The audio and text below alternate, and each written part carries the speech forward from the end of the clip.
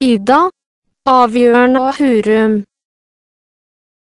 Boka tar utgangspunkt i et fossil som ble funnet i Messel i Tyskland på 1980-tallet, og som senere har blitt kjent som fossilet Ida.